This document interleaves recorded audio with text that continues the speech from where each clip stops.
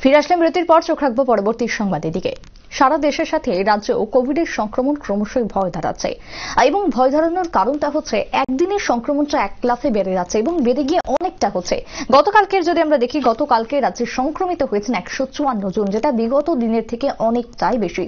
আর এই পরিস্থিতিতে দাঁড়িয়ে ক্রমশই চিন্তা সৃষ্টি করছে রাজ্যে যারা প্রশাসনিক আধিকারিকরা রয়েছেন যারা বিশেষজ্ঞ চিকিৎসকরা রয়েছেন তাদের কপালে কিন্তু চিন্তার ভাঁজ। আর এই পরিস্থিতিতে দাঁড়িয়ে রাজ্যবাসীকে রক্ষা করার জন্য একাধিক আহ, আচরণবিধি মূলত লাগু করা হচ্ছে এবং খুব শীঘ্রই সেটা রাজ্যে আবারও চালু হবে, যেটা বিগত দিনে আমরা দেখেছি। এবং সেই খান থেকে দাঁড়িয়ে মূলত আজকে একটি মিটিং অনুষ্ঠিত হয়, যেখানে এএসডিএম সমস্ত শপিং মলের কর্মকর্তাদের নিয়ে এবং তার পাশাপাশি মার্চেন্ট অ্যাসোসিয়েশনের যারা কর্ণধাররা রয়েছেন, তাদেরকে সকলকে নিয়ে আজকে মিটিংটি অনুষ্ঠিত করেন। গুরুত্বপূর্ণ বৈঠক, যেখানে অসীম সাহা আজকে উপস্থিত ছিলেন এসডিএম এবং তার পাশাপাশি এসডিএম বিনয় ভূষণ দাস উপস্থিত ছিলেন। অর্থাৎ আধিকারিকরা সকলে মিলে যারা মার্চেন্ট অ্যাসোসিয়েশনের কর্ণধারা রয়েছেন এমনকি শপিং মলের যারা কর্ণধারা রয়েছেন সকলকে মিলে বৈঠক ডেকেছেন।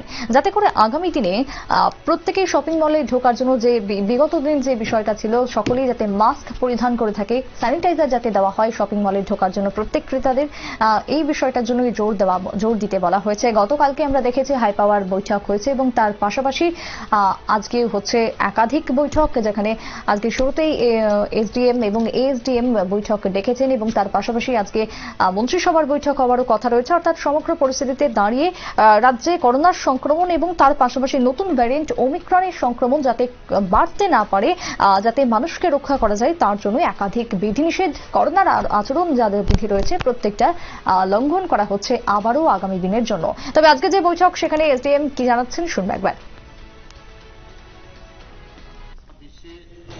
কোভিডের থার্ড ওয়েভ চলে এসছে।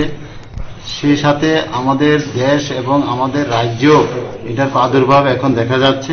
এটাকে কীভাবে প্রতিহত করা যায় এবং বিগত দিন আমরা যেভাবে প্রশাসন এবং মার্চেন্ট অ্যাসোসিয়েশন এবং বিভিন্ন ক্লাব বিভিন্ন সংস্থার সাথে যৌথ উদ্যোগ করে কোভিডের যে হান্ড্রেড পার্সেন্ট বিধিগুলি মানা মাস্ক পরিধান করা ঘন ঘন স্যানিটাইজ করা সোশ্যাল ডিস্টেন্স মেনটেন করা, ভিড় এড়িয়ে চলা, এই যে বিষয়গুলি আমরা করতে সক্ষম হয়েছিলাম বিগত দিনে, আগামী দিনেও যাতে এখন থেকে যেহেতু কোভিডের আমরা দুটো অভিজ্ঞতা আছে, সেটাকে কাজে লাগিয়ে মার্চেন্ট অ্যাসোসিয়েশন এবং সমস্ত বাজারে যে কর্ণধাররা আছেন শপিং মলগুলি আছেন সমস্ত কর্ণধাররা আজকে এখানে উপস্থিত আছেন। অল ত্রিপুরা মার্চেন্ট অ্যাসোসিয়েশনের চেয়ারম্যানও আমাদের সাথে উপস্থিত প্রেসিডেন্ট এবং সেক্রেটারিরা উপস্থিত আছেন। সবাইকে নিয়ে আমরা এটাকে আগাম একটা প্রস্তুতি নিতে যাচ্ছি যাতে সব জায়গায় এই বার্তাটা পৌঁছে যায়। তার জন্য এই মিটিং এর আমরা আয়োজন আজকে বন্ধের দিনে আমরা করতে বাধ্য হয়েছি। বাজারগুলিতে ক্রেতাদের জন্য কি বিশেষ থাকবে আপনার?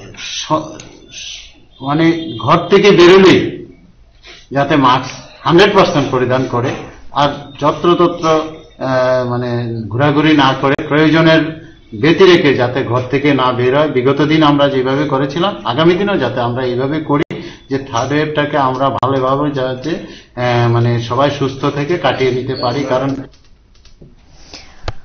অর্থাৎ যে সংক্রমণ গতকালকে আমরা পেয়েছি একশো চুয়ান্ন জন, তার মধ্যে তিরানব্বই জনই হচ্ছে পশ্চিম জেলায় এবং বিগত দিনের মতো একই রকম ভাবে পশ্চিম জেলাতেই সব থেকে বেশি গোষ্ঠীর সংক্রমণ। তাই পশ্চিম জেলাতে বাজার থেকে শুরু করে যা যা শপিং মলগুলি রয়েছে, সেই জায়গাগুলোতে যাতে মানুষ দৈহিক দূরত্ব বজায় রেখে মাস্ক পরিধান করে যাতে ব্যবসায়ী থেকে ক্রেতারা সকলে আসেন, তার জন্য আগাম সতর্কবাণী, আগাম সতর্কতার জন্য আজকের এই বৈঠক অনুষ্ঠিত হয়েছে। যাতে করে আগামী দিনে প্রত্যেকটা শপিং মলের কর্ণধারা, এমনকি বাজার ব্যবসায়ীদের পক্ষ থেকেও এই বিধিনিষেধগুলো যাতে জারি করা হয়।